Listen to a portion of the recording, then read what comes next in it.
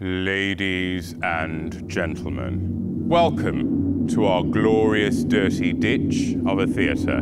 In the city's constant turmoil, there is endless slow decay.